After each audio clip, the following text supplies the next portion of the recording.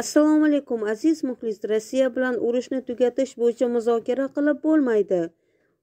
Hozircha rossiya federatsiyasi bilan urushni tugatish bo'yicha muzokaralar olib borishni iloji yo'q chunki rossiya tomoni hech qanday adekvat pozitsiyani shakllantira olmaydi.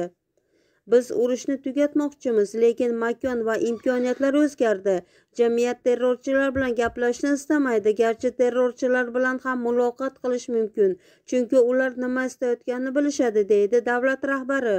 Ammo rossiya tomoniga kelsak zelenskiy ta'kidlaganidek ular o'z akalar bugundan boshlab minoxidilni ko'rib turibsizlar simirtiradigan aksiyamiz boshlanib to'qqiz yuz rubldan agar optimga oladigan bo'lsangiz bundanda arzon qilib beramiz yanada. Mana bu oq dog'dan yo'qotadigan tabletkalar bo'ladi mana kremlar bo'ladi tanangiz rangi bilan bir xil qilib qo'yadi. Teri kasalliklar dermatit psoriazda bo'ladigan bo'lsa mana shu mahsulot zo'r yordam beradi. Oyoq qo'l bo'g'imlarda og'riq bor onaxonlarimiz otaxonlarimiz bor tabletkalari mazlarimiz bor. Agar qo'ltiq pultiqlari sasiydigan akalarimiz oyog'i sasiydigan bo'lishi mumkin kremlari mana bunaqa mahsulotlar bilan bir oyda olinganda bir oy davomida yo'qotaveradi shu narsani. Keraksiz tuklarni yo'qotaveradigan judayam mashhur bilasizlar spreyi. Videoni pastda nomer qoldiraman optimga ham ishlaymiz.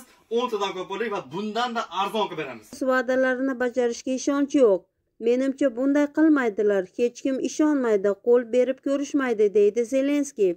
Zelenskiy ta'kidlaganidek avvalo rossiya federatsiyasi ukraina hududlarini tark etishi va o'zini mamlakatga qarshi keng ko'lamli urush boshlangan terrordek tutishni bas qilish kerak. Keyin diplomatiya haqida gapirish mumkin.